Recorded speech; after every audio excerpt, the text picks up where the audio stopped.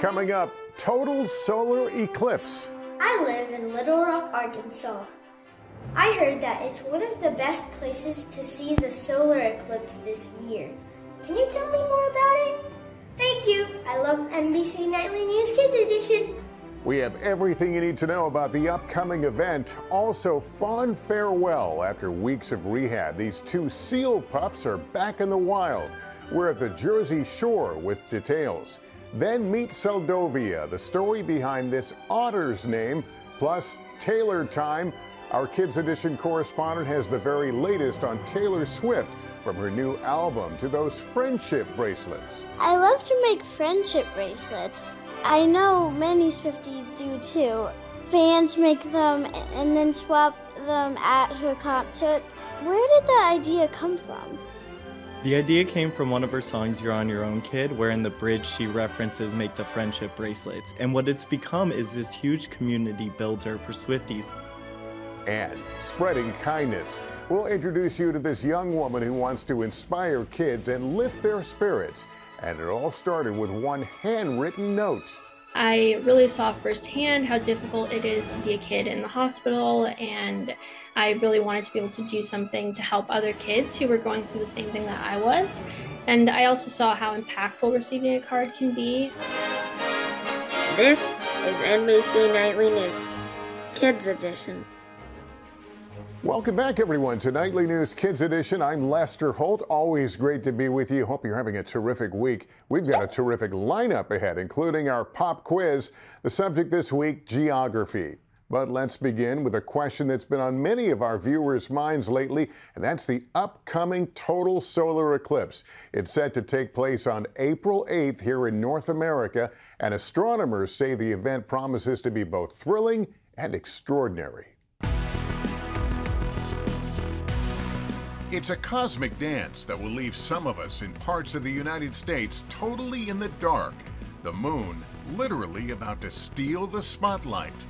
A total solar eclipse will cross North America on April 8th, passing over Mexico, the United States, and Canada. Cities like Dallas, Little Rock, Indianapolis, and Buffalo will be in what is called the path of totality. Hi, my name is Jason. I live in Little Rock, Arkansas.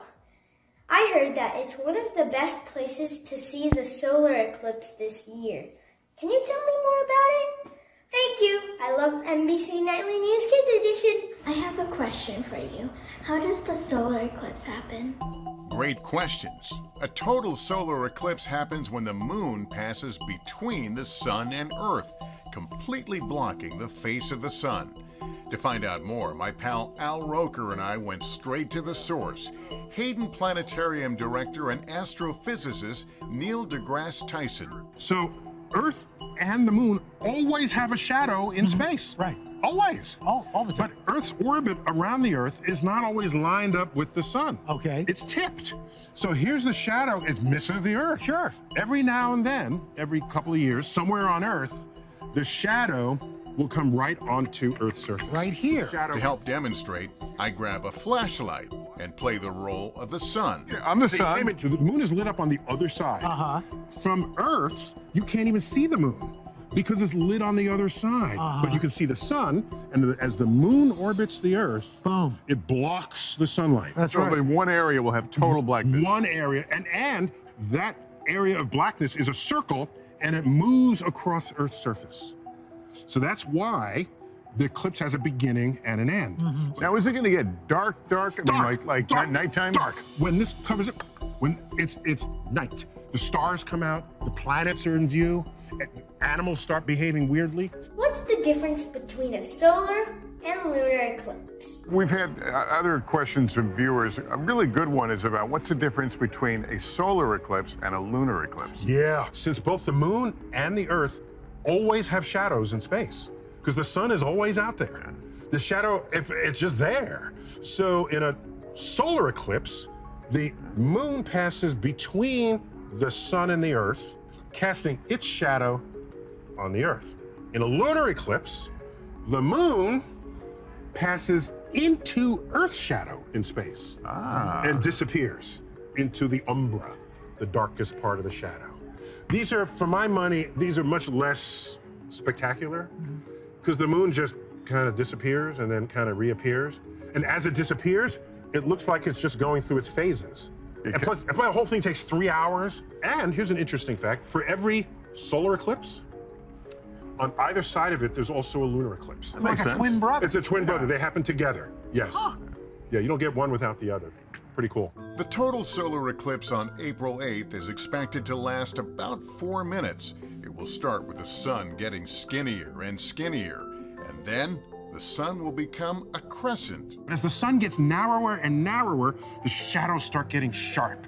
And there are these mottled light that come through the trees, through the leaves. And we just think that's light. The tree is acting like a pinhole camera, and those are mini images of the sun. Wow. Mini images, so that when the sun goes to crescents, every one of those little blots of light becomes a little crescent. And you have your protective eyewear on because you can't look at the sun. Once the moon completely blocks the sun, you can take off the glasses and bask in the majesty of the solar corona. We can't normally see the corona, the outermost part of the sun's atmosphere, because the sun's surface below it is so much brighter. But during a total solar eclipse, the corona becomes visible.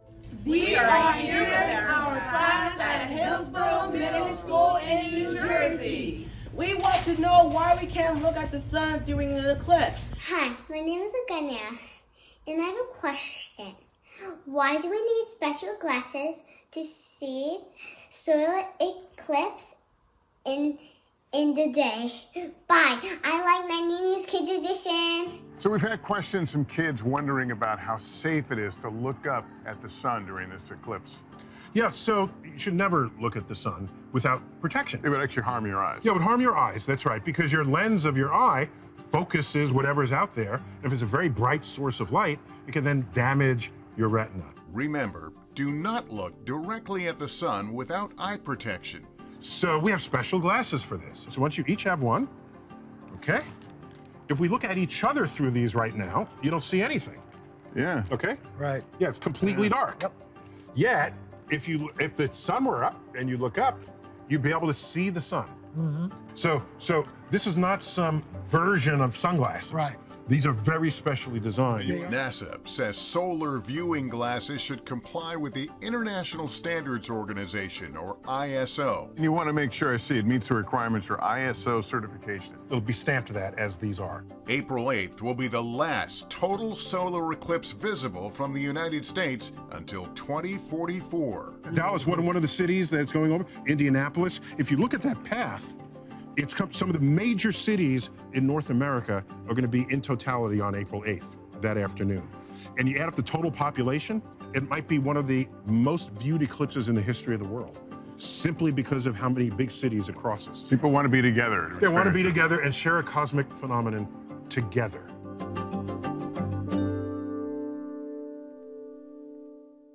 For more on those special glasses you'll need to wear when looking at the sun and viewing the eclipse, our friend Andrew Fazekas from National Geographic has everything you need to know.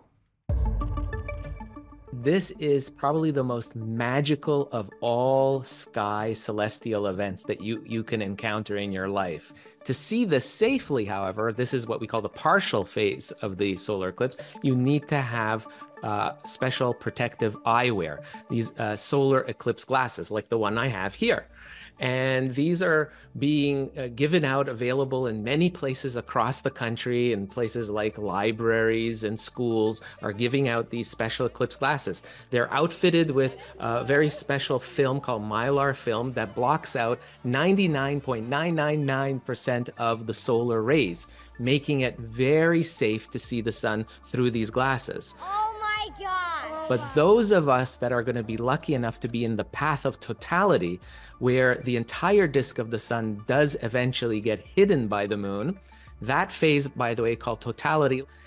At that point, you can take these glasses off and view the, the eclipse safely. That's because the entire disk of the sun is covered by the moon. So you can't see the sun anymore. But once totality ends, when a little bit of the sun starts creeping up and starting to get brighter again, that's when you put these glasses on again and you watch uh, the, the, the second half of the partial eclipse of the sun. If you don't happen to have glasses handy, there is another way you can watch the uh, eclipse safely, and that's called the projection method. You take a piece of cardboard and you punch a hole in it.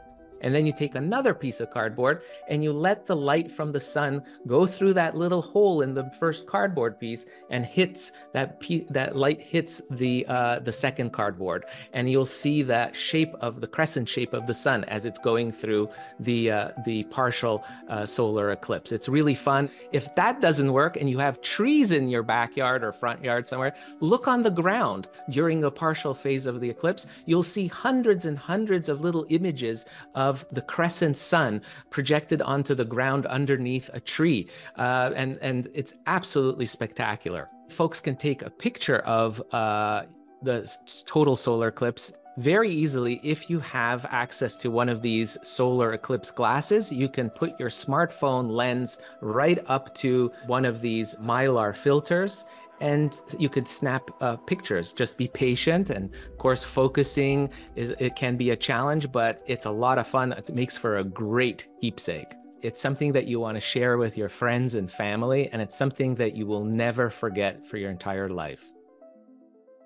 All right, meantime, a very special farewell took place this week in New Jersey. Two gray seal pups who were rescued were released back into the ocean. Our friend Emily Ikeda has the heartwarming story. They're already starting to undulate towards the ocean. It was a big day this week for this SEAL team. The second one just got in as well. Both of the SEALs are in. Two gray seal pups in Brigantine, New Jersey were released back into the ocean after weeks of rehabilitation. Their journey along the Jersey shore began in February when they were rescued by staff at the Marine Mammal Stranding Center. Number 11, as he's identified by staff, was found just miles away near the dunes in Brigantine Beach. We came across this little fluffy white gray seal. The seal's body still covered in his white birth coat. They usually keep it till they're weaned. That's usually about two to three weeks. Just hours later, the center received an urgent call about another gray seal pup. She was reported to have something around her neck. From what we can tell, it's the plastic overwrap from a case of bottled water. Number 12 was only about a month old and was likely making her way down from northern New England and Canada, where many gray seals are born. As for that piece of plastic, she managed to get it off in the in the crate on the transport back. She's very feisty. Once they arrived at the center, number 11 and 12 became the newest in house patients, joining more than a dozen other SEALs on site. We treat this facility very much like you treat a human hospital. With no major medical issues, the rehab process for both pups was all about packing on the pounds and getting them to eat on their own. Something that went swimmingly, especially for number 11. He likes to sing for his supper. Uh, he's very vocal about what what he wants. Since arriving at MMSC, 11 and 12 have already doubled in size, now weighing about 80 pounds each, allowing them to graduate from their smaller pens to the big pool. The big pool gives them an opportunity to start practicing their diving endurance again, getting them diving deeper and holding their breath. It gets them swimming a lot more. And after nearly seven weeks of care with a tender touch, this adorable duo was ready to dive back in we're hopeful that they'll head out, find their own way, find some food, and continue to do well. It's just such a great feeling to watch them go.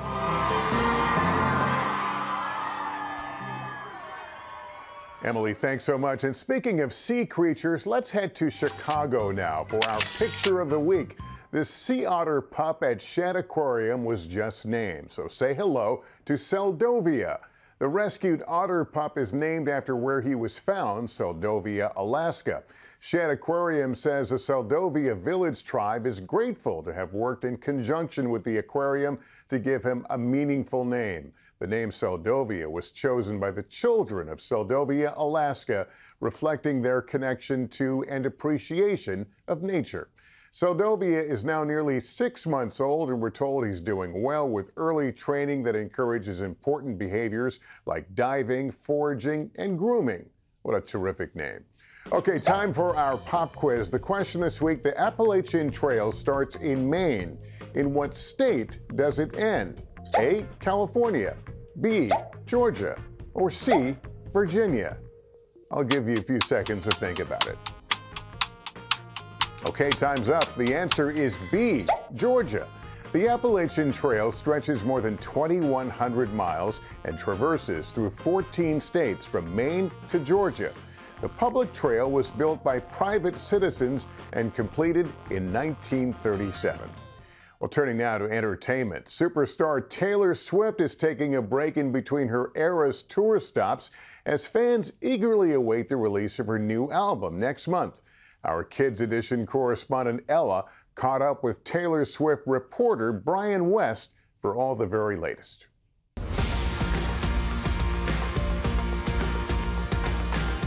Hi, Bryan. I'm Ella, and I'm eight years old. Thanks for joining us. I have a few questions for you. Hi, Ella. I'm so excited. I hear you're the biggest Taylor Swift fan. Taylor Swift has a new album coming out. What can you tell us about it? So what we know is there's four different versions to this. So the base of the album is 16 songs, but on the four different versions, you have different bonus tracks. So there's the Bolter, the Manuscript, the Albatross, and the Black Dog. It's coming out on April 19th, which as you know, Ella, Taylor always is very intentional about the day she releases her albums. That day in particular is the day that in 1775 was the American Revolution. So there might be a tie. One of the songs is So Long London with kind of Great Britain and also America. But oh. it should be super exciting. I know fans are really excited to hear some of her new music. I love to make friendship bracelets. I know many Swifties do too. Fans make them and then swap them at her concert. Where did the idea come from? The idea came from one of her songs, You're on Your Own Kid, where in the bridge she references Make the Friendship bracelets. And what it's become is this huge community builder for Swifties. So no matter which concert venue you go to, you can expect that there are people with carabiners or bags and bags of friendship bracelets. It's a really good icebreaker, really good way for, you know, fans to interact. I was also really fortunate that you were here with your mom, Jessica, in Nashville, where I work. And you gave me a long live friendship bracelet because you asked me one of my favorite eras and songs, and that's my second favorite song of all time. And I have it at my desk. I'm so grateful for it. So that means we are officially friends, and I gave you a friendship bracelet. Why do you think friendship bracelets became popular? I think it's definitely with because of Taylor Swift. So she has what's called, you know, the Midas touch, the golden touch. Everything that Taylor Swift does turns to gold. So when she said like make the friendship bracelets and it started to become a thing at her concerts, it just took off and became really popular. One more question. What's the most unique or memorable bracelet that you have seen? So I have so many, but I'm gonna have to go with just one that really means a lot to me is the one I talked about that you gave me. I'm so grateful that because of Taylor Swift and Jason Kelce, I was able to report on a video of you waving to Taylor and then you were able to come meet me when you were here for a dance competition in Nashville. And so that's a really memorable moment that we will always have. And look, you're holding, what are you holding? Your bracelet. Oh, see, you have it. Thanks of course. Thank you so much, Ella. You're so good at this. And I love your t shirt. Show me your t shirt. You're in your reporting era. Here we go. All of my bracelets. Those are so good. You're really good at this. I'm so grateful. Thank you, Ella. Thank you. Okay, Ella, thanks very much. So great to have you on Nightly News Kids Edition. Well, finally, in our Inspiring Kids series this week, an update on a story we brought to you last year about one young woman who is paying it forward and spreading kindness and positivity to kids who are in the hospital. Let's get details now from our friend Ava Maldonado. Jen Rubino spent her childhood in and out of hospitals undergoing nearly two dozen surgeries for a childhood connective tissue and bone disease. You feel isolated, you feel away from, you know, basically school, friends, life outside the hospital, all of that.